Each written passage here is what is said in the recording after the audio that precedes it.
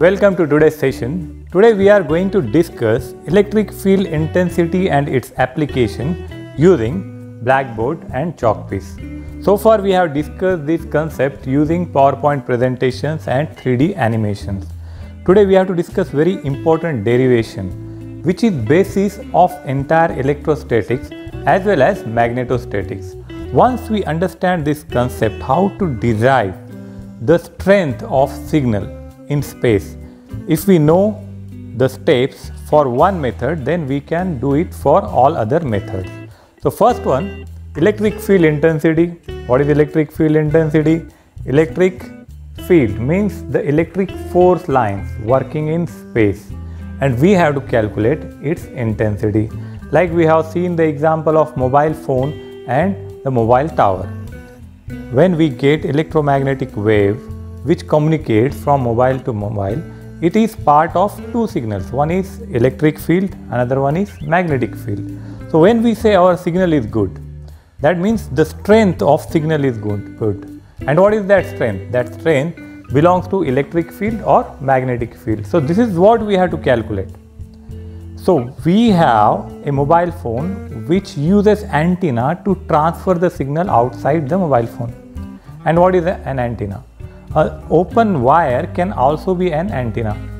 We use antennas in FM radios, we use antennas in transmission stations, we use antennas in mobile phones and we have lot of applications of antennas. So these antennas are basically conductors. And what is function of conductor? The function of conductor is to move the charges from one place to another place. They are conducting the electrons. Now when we say electric field intensity, we have derived it from the Coulomb's law of forces. What is Coulomb's law? The force between two charges is given by product of two charges and it is inversely proportional to 4 pi epsilon naught r square. Force is a vector quantity. So we have to add a bar on the head of force F and we add one direction component which is given by AR cap. And electric field intensity which is denoted by capital E is nothing but force per charge. How much force we are applying per charge or group of charges. When it is an antenna or mobile phone we can consider it as one point where number of charges are available and someone from another antenna is applying force on those charges. So it is force per charge. So with our definition electric field intensity is simply force per charge. So if I want to calculate force on any one charge, say Q2. So if I want to calculate this, so we have a formula for the force. So I will write down Q1 Q2 divided by 4 pi epsilon naught r square say per Q2. So per Q2 if you write like this, what will happen? This Q2 and this Q2 will get cancelled. So the remaining term will be Q divided by 4 pi epsilon naught r square and we can add the direction component AR cap. When we uh, include the direction, we can add a bar on the head of E. That means now this is vector quantity electric field intensity is a vector quantity. Now this one is called as electric field intensity formula for a point charge, point charge Q. But we don't deal with a single charge, we deal with more number of charges. We call it as the density, like number of charges are present at one place. Now if we talk about this chalk piece, now in chalk piece, you can resemble it with a conductor. If you have seen a wire, if you zoom out, what will be the exact shape of a conductor? Like a cylinder. And there will be number of charges present on that particular line. That means there is charge density. And which charge? Line charge. So we will call it as line charge density. So for distribution of electric field intensity, we may have various possible shapes the electric field intensity may be due to line charge. So this line charge may be a conductor wire.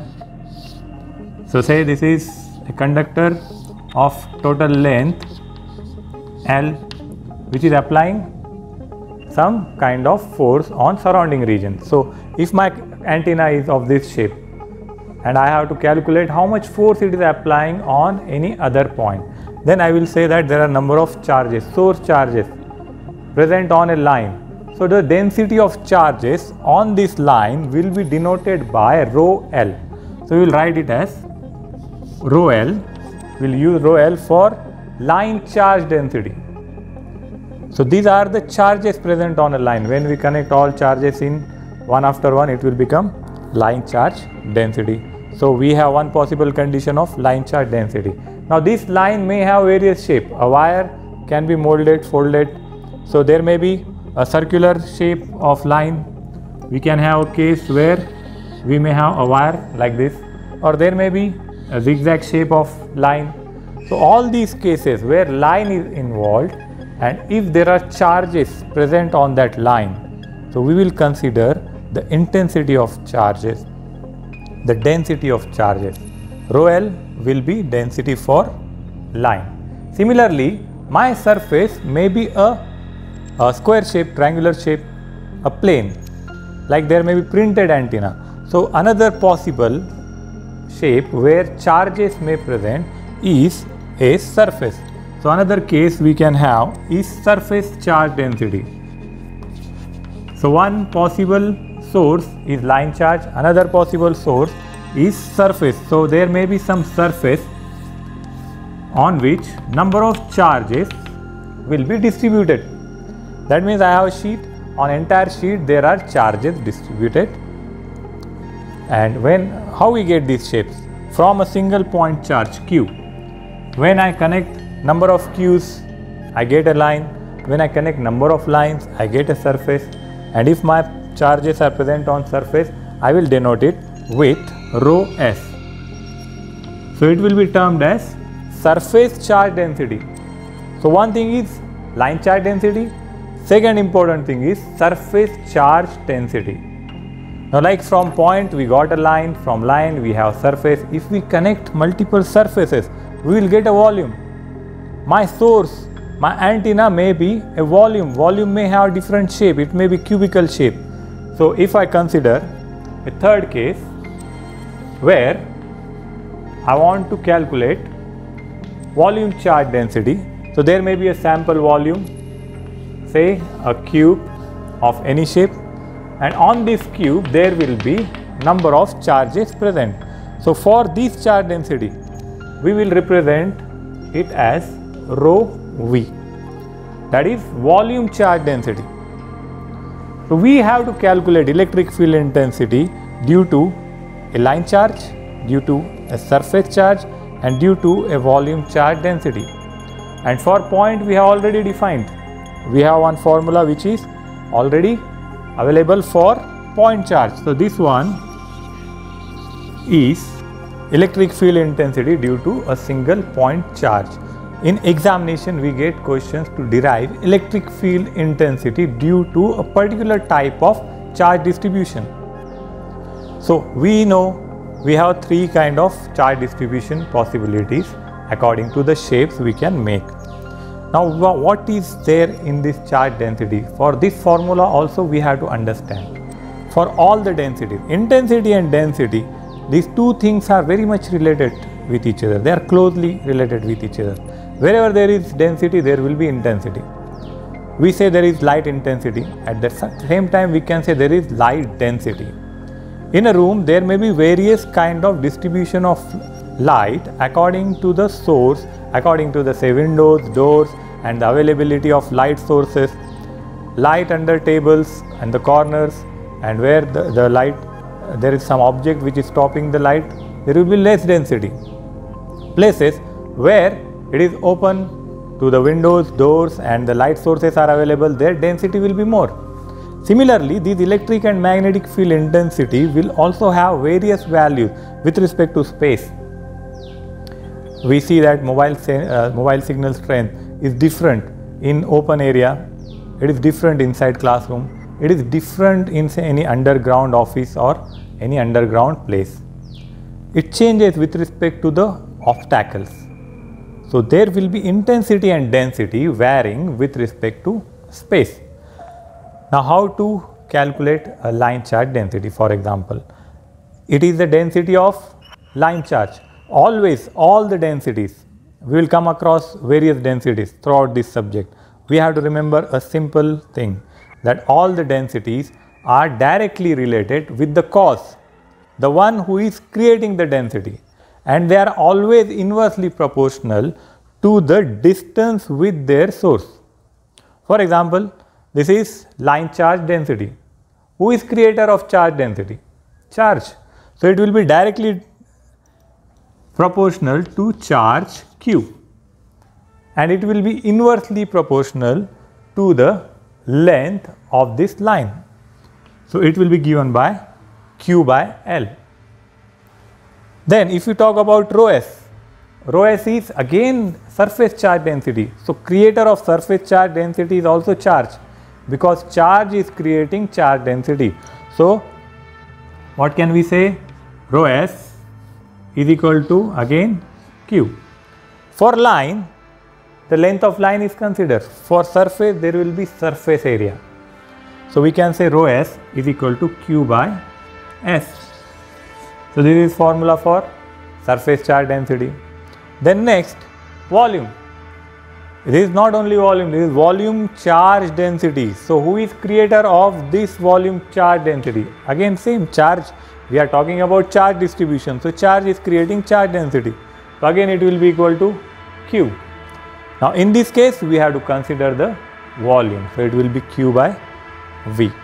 So, now we are clear about the formulas for charge densities. Now let us discuss why they are inversely proportional to the length, distance, their surface or volume. For that we will take one more example. So I will just rub this side.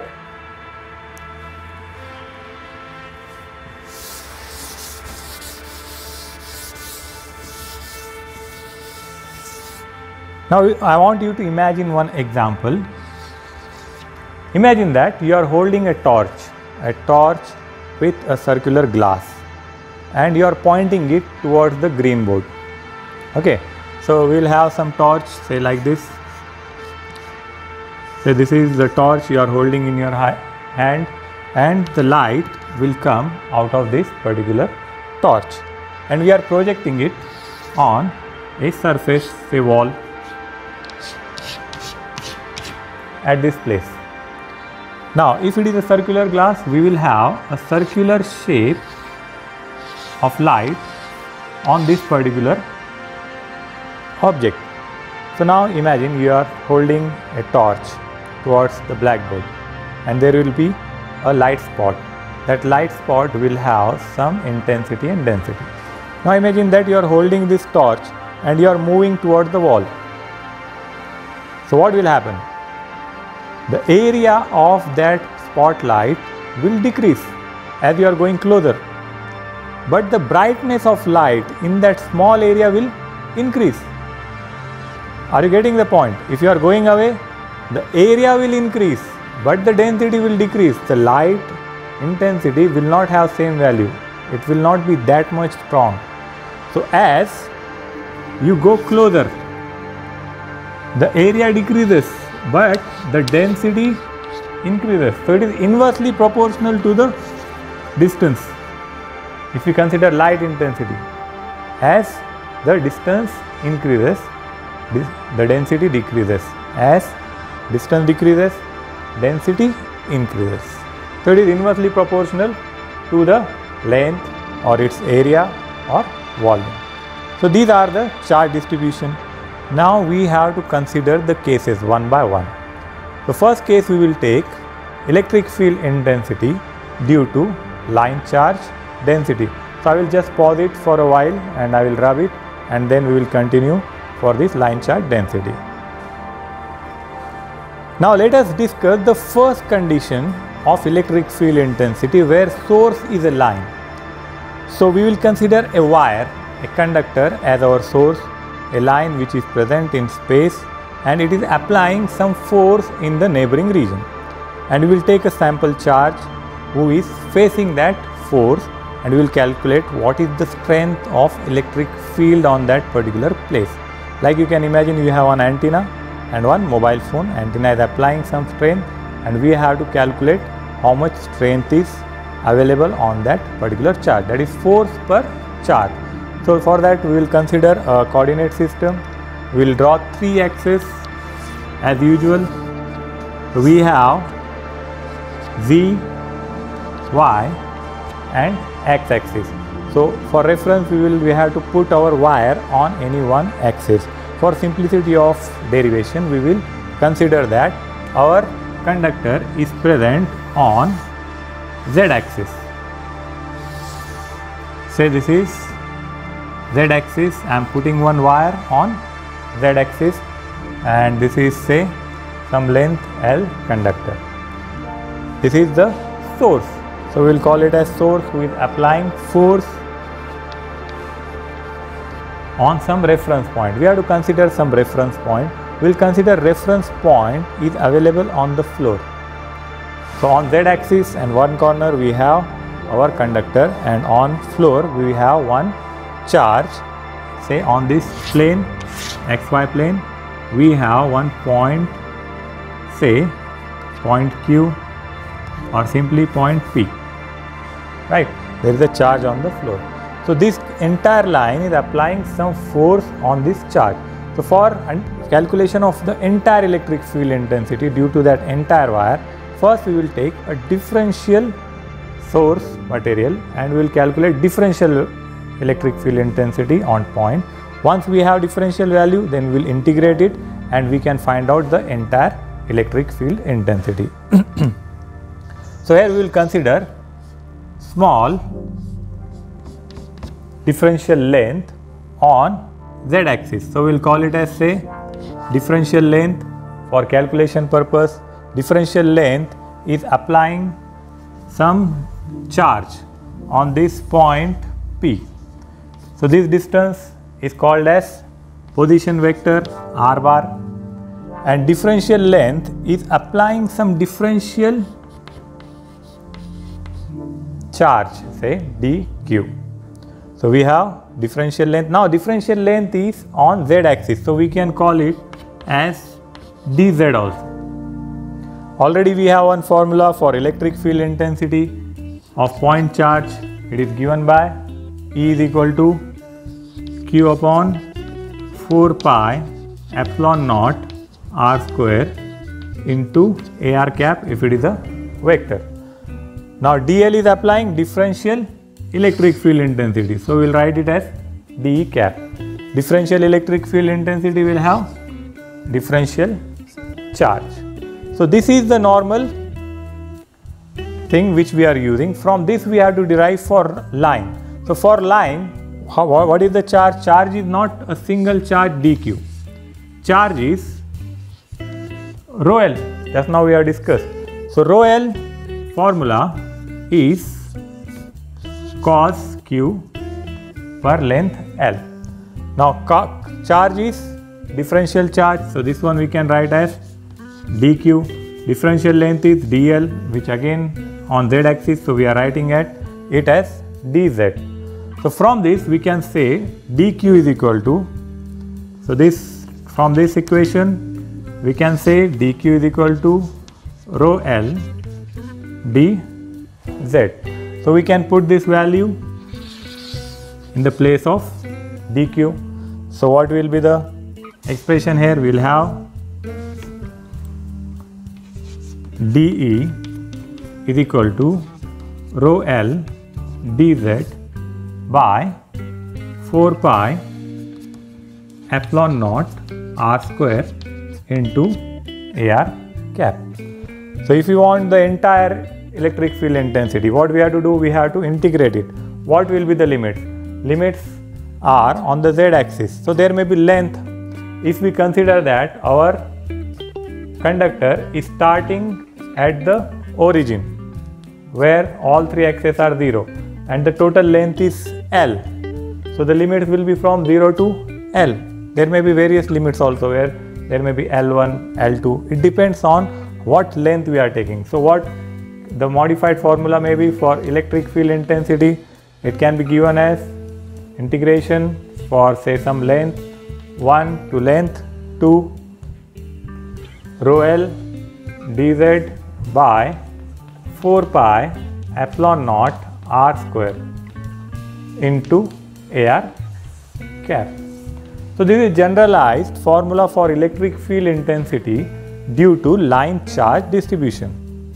Now in line charge distribution, most commonly asked question is infinite line charge. Infinite line charge is applying electric field strength in the surrounding region and we have to calculate what is that value. So let us imagine that now this conductor is not having a finite length. It is extended from positive infinity on z axis to the negative infinity on negative z axis. So my conductor is present all over the z axis to infinity. So for that this part will be same. Now what will be the change? Changes will come in the integration limits. So again we can calculate the AR cap.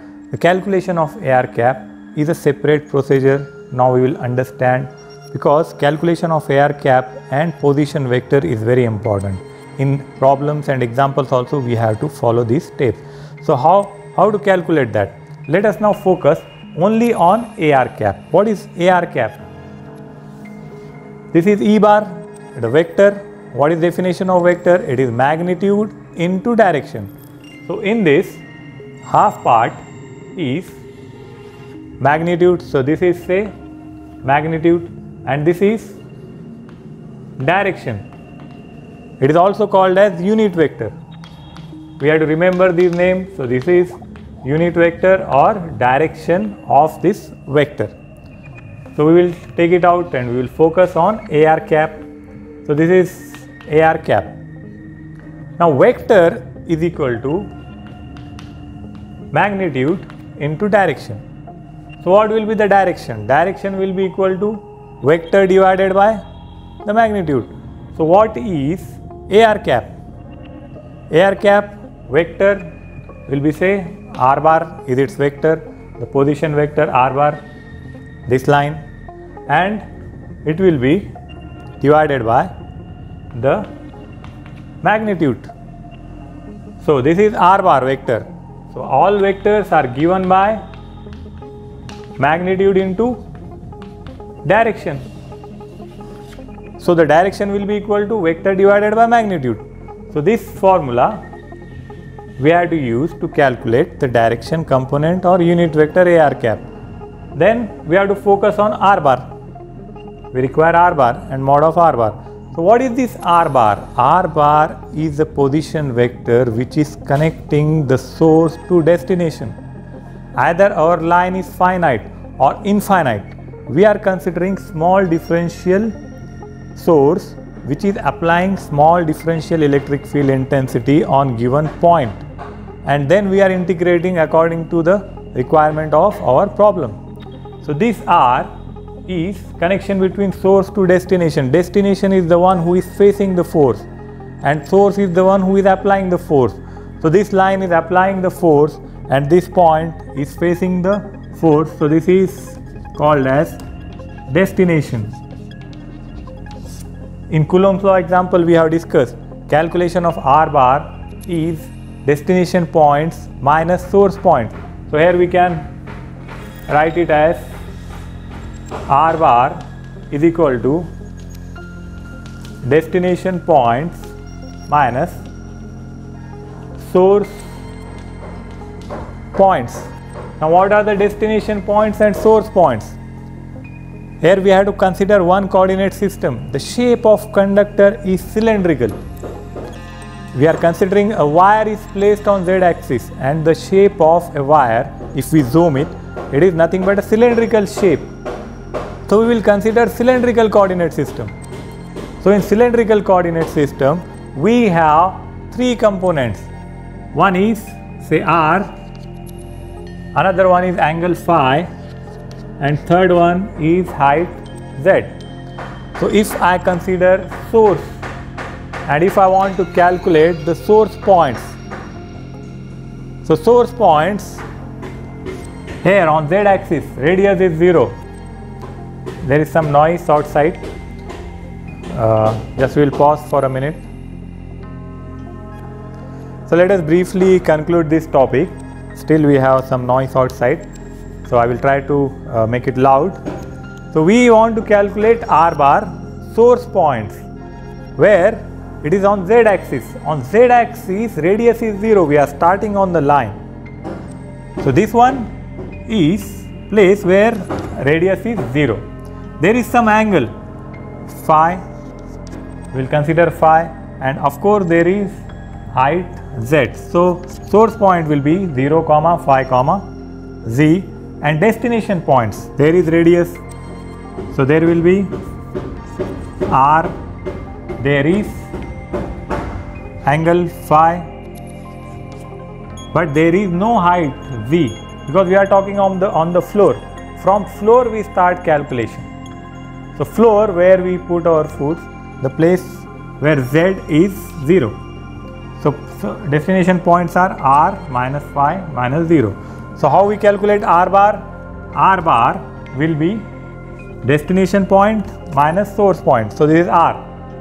R we have to take the direction of r which is ar cap r ar r ar cap minus 0 it will be same value then phi a phi cap minus phi a phi cap it will be 0 then 0 minus z a z cap so it will be minus z a z cap. So this is our r bar. So what will be the mod of r bar? So here we will write r bar in this place. So AR cap can be given by, here I will write down, AR cap will be R bar that is R AR cap minus Z AZ cap. If we take mod of R bar, so it will be square root of R square plus Z square. So this is nothing but AR cap. So this AR cap we have to put in place of this AR cap.